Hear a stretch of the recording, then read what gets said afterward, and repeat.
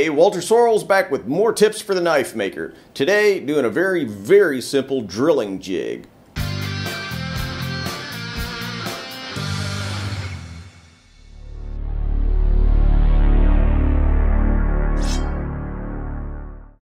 So one of my Patreon subscribers recently uh, wrote a note to me asking for a little bit of detail about a drilling jig that I referred to in a uh, video several years ago.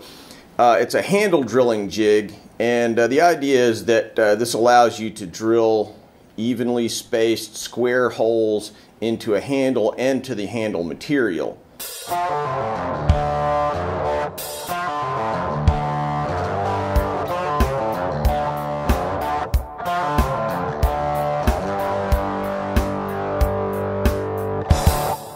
Right, so let's take a look at the sequence of operations here.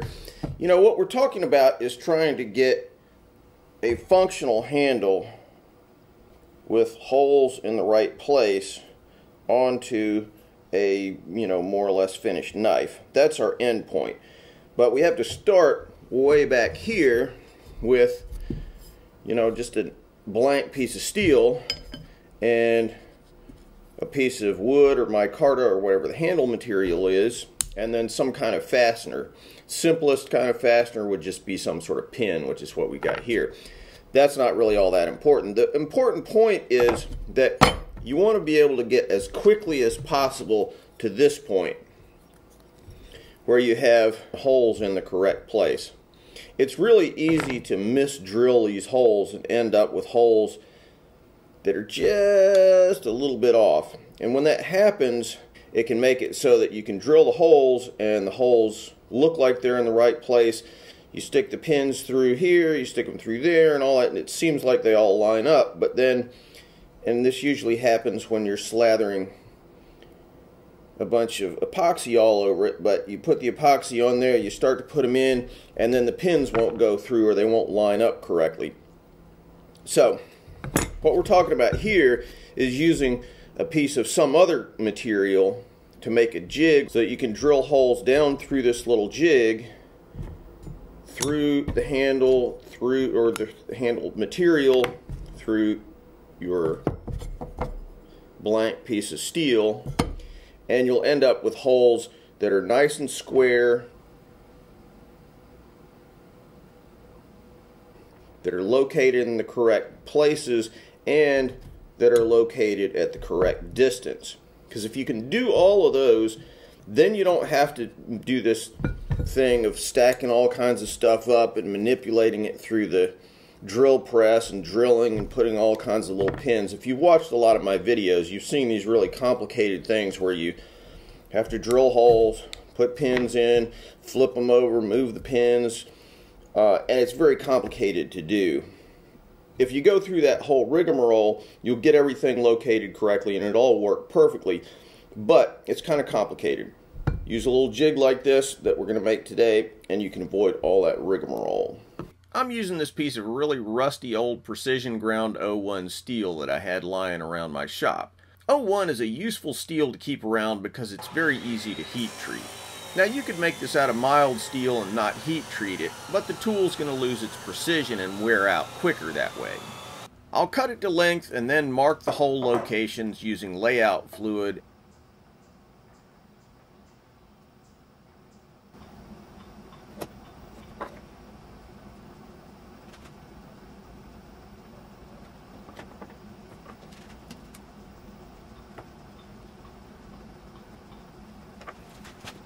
Then it's on to marking the holes. I'll use a prick punch, then work up to heavier punches. This is a good way to get accurately located holes.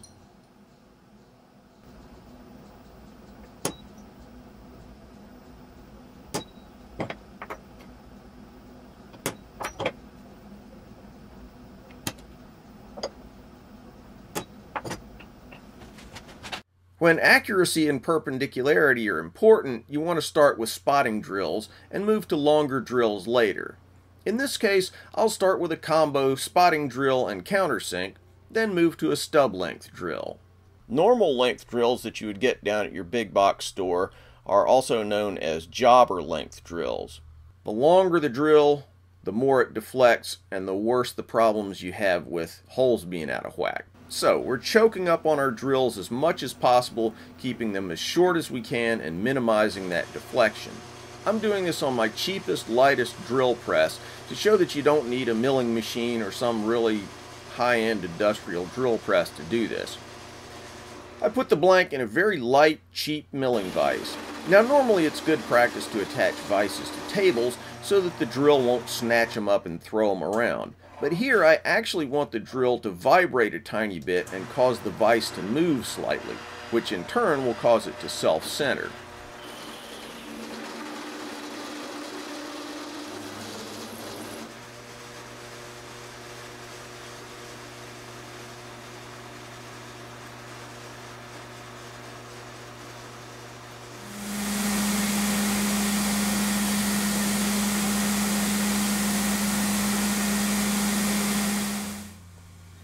I'll clean off the burrs and then chamfer the edges of the hole by hand with this countersink. And that's really about it. If you're using mild steel, you're pretty much done. Now in this case I'm hardening the O1, which makes for a better tool in the long run. I'll be heat treating it in my forge, but you could use a torch or anything else that'll reach 1500 degrees. So I'm heating it up until it's non-magnetic, that's about 1425 Fahrenheit, then taking it up a little further up to 1500 Fahrenheit, then quenching it in peanut oil. Now we could use a fancy industrial fast quench oil, but peanut oil will work just fine.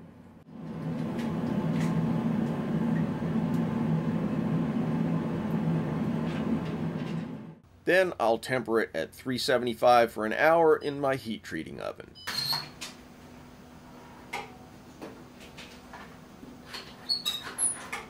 After a little cleanup on the grinder, it's done.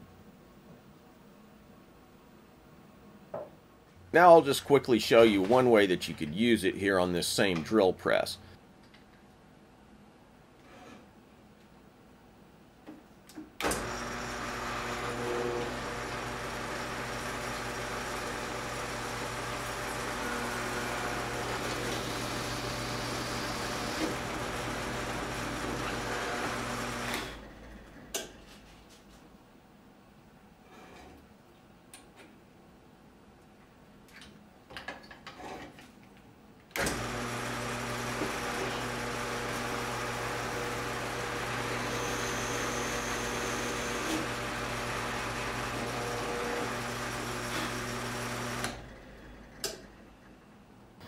But once you have the tool, you can set it up in just zillions of different ways.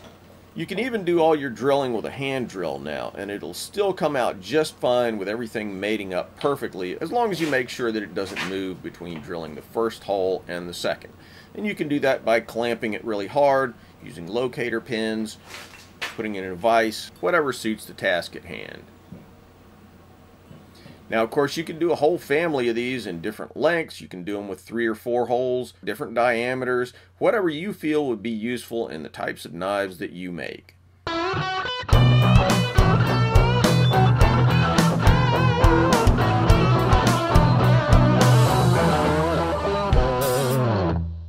Thanks for watching, guys. If you feel like you got something out of this video, don't forget to subscribe. Also, click on the link to Patreon for a great way to give back to the channel.